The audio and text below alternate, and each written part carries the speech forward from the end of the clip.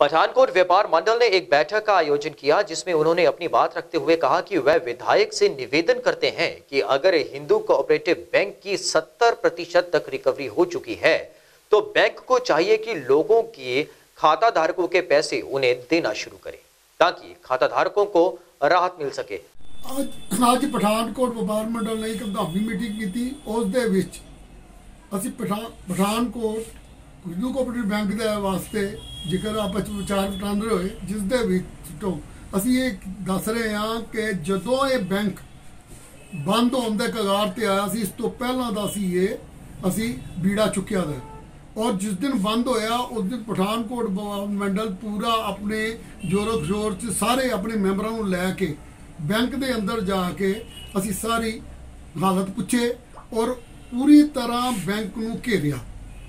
ਉਹਦੇ ਸਿੱਟਿਆਂ ਵਜੋਂ ਉਹਨਾਂ ਨੇ ਸਾਨੂੰ ਜੋ ਵੀ ਦੱਸਿਆ, ਅਸੀਂ ਪਹਿਲੇ ਆਰਬੀਆਈ ਕੋਲ ਗਏ। ਆਰਬੀਆਈ ਨੇ ਕਿਹਾ ਕਿ ਇੰਨਾ ਘਾਟਾ ਹੈਗਾ ਵੈ, ਇਹਨੂੰ ਪੂਰਾ ਕਰੋ ਤੇ ਫਿਰ ਤੁਹਾਡਾ ਚੱਲੇਗਾ। ਉਸ ਤੋਂ ਬਾਅਦ ਅਸੀਂ ਐਮਐਲਏ ਸਾਹਿਬ ਨੂੰ ਮਿਲੇ। ਐਮਐਲਏ ਸਾਹਿਬ ਨੇ ਵੀ ਸਾਨੂੰ ਦਿੱਤਾ ਕਿ ਵੀ ਹਾਂ, ਤੁਹਾਡਾ ਬੈਂਕ ਬਹੁਤ ਜਲਦੀ ਮੈਂ ਚਲਾਵਾਂਗਾ, ਕਿਉਂਕਿ ਇਹਦੇ ਵਿੱਚ ਮੈਂ ਸੀਐਮ ਸਾਹਿਬ ਨਾਲ ਔਰ ਸਾਹਿਬ ਨਾਲ ਗੱਲ ਕਰਾਂਗਾ। ਉਸ ਤੋਂ ਬਾਅਦ ਸੀਐਮ ਸਾਹਿਬ ਨਹੀਂ, ਮਗਰ ਰੰਧਾਵਾ ਸਾਹਿਬ ਨੂੰ ਉਹ ਲੈ ਕੇ ਬੈਂਕ ਚ ਆਏ।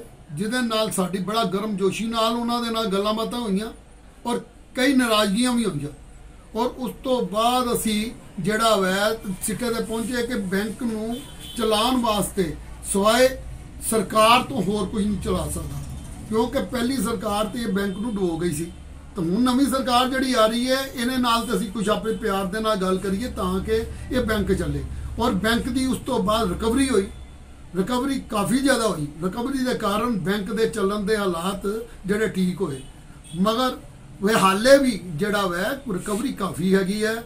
ਅਸੀਂ ਐਮਐਲਏ ਸਾਹਿਬ ਦੇ ਅੱਗੇ ਇਹੋ ਹੀ ਇਜ਼ਾ- ਕਵਾਂਗੇ ਕਿ ਇਹਦੀ ਜਲਦੀ ਤੋਂ ਜਲਦੀ ਰਿਕਵਰੀ ਕਰਵਾਓ ਤੇ ਬੈਂਕ ਖੋਲੋ ਅਗਰ ਤੁਸੀਂ ਇਸ ਬੈਂਕ ਨੂੰ ਖੋਲਣ ਤੋਂ ਬਾਅਦ ਕਿਸੇ ਮਰਜ ਕਰਨਾ ਉਹ ਵੀ ਕੀਤਾ ਜਾਵੇ। ਅਸੀਂ ਇਹ ਜਿਹੜੀ ਚੀਜ਼ ਆ, ਸਾਰਾ ਬੀੜਾ ਜਿਹੜਾ ਵੈ ਐਮਐਲਏ ਸਾਹਿਬ ਤੋਂ ਸੁੱਟਨੇ ਪਏ ਆ ਕਿ ਐਮਐਲਏ ਸਾਹਿਬ ਹੀ ਸਾਡਾ ਇਹ ਕੰਮ ਕਰ ਸਕਦੇ ਨੇ। ਥੋੜੀ ਦੇਰ ਰਹਿ ਗਈ ਹੈ। ਔਰ ਇਸ ਵਾਸਤੇ ਅਸੀਂ ਫੇਰ ਰਿਕੁਐਸਟ ਕਰਨੇ ਆ, ਪਠਾਨਕੋਟ ਵਪਾਰ ਮੰਡਲ ਇਸ ਚੀਜ਼ ਤੋਂ ਪਿੱਛੇ ਨਹੀਂ ਹਟਿਆ।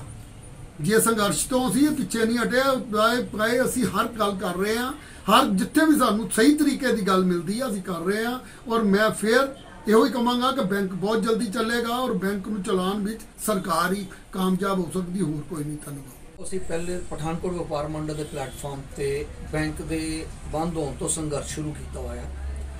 ਧਰਨੇ ਵੀ ਦਿੱਤੇ ਨੇ, ਬੈਂਕ ਦੇ ਅੱਗੇ ਰੋਡ ਵੀ ਬਲੌਕ ਕੀਤੀ ਹੈ। ਔਰ ਸਾਡੇ ਪ੍ਰਯਾਸ ਤੋਂ ਬੈਂਕ ਦੇ ਸਟਾਫ ਨੇ ਜ਼ੋਰ ਲਗਾ ਕੇ, ਜੋ ਮੈਂ ਸਮਝਦਾ ਅੱਜ ਤੱਕ 70% ਦੇ ਕਰੀਬ ਰਿਕਵਰੀ ਕਰ ਲਈ ਹੈ। ਆਰਬੀਆਈ ਦੀ ਜਿਹੜੀ ਸਾਨੂੰ ਗਾਈਡਲਾਈਨਸ ਮਿਲੀ ਸੀ, ਜੋ ਆਰਬੀਆਈ ਨੇ ਸਾਨੂੰ ਦੱਸਿਆ ਕਿ ਅਗਰ ਬੈਂਕ ਆਪਣੀ ਰਿਕਵਰੀ ਕਰ ਲੈਂਦਾ ਹੈ, ਤਾਂ ਉਹ ਬੈਂਕ ਨੂੰ ਸ਼ੁਰੂ ਕਰ ਦੇਣਗੇ ਪੰਜਾਬ ਦੇ ਨਿਕਾਇ ਮੰਤਰੀ ਸਾਹਿਬ ਨੇ ਵੀ ਸਾਨੂੰ ਇਹ ਅਸ਼ੋਰੈਂਸ ਦਿੱਤੀ ਸੀ ਕਿ ਅਗਰ ਬੈਂਕ ਆਪਣੀ ਰਿਕਵਰੀ ਕਰਦਾ, ਤੇ ਇਨ ਬਿਟਵੀਨ ਉਹ ਵੀ ਪ੍ਰਯਾਸ ਕਰਕੇ ਬੈਂਕ ਨੂੰ ਚਲਾਉਣ ਦੇ ਲਈ ਬੈਂਕ ਨੂੰ ਕਿਸੇ ਸਟੇਟ ਕੋਆਪਰੇਟਿਵ ਬੈਂਕ ਦੇ ਵਿਚਕਾਰ ਮਰਜ ਕਰ ਦੇਣਗੇ। ਔਰ ਉਹਨਾਂ ਨੇ ਕਾਫੀ ਪ੍ਰਯਾਸ ਵੀ ਕੀਤੇ।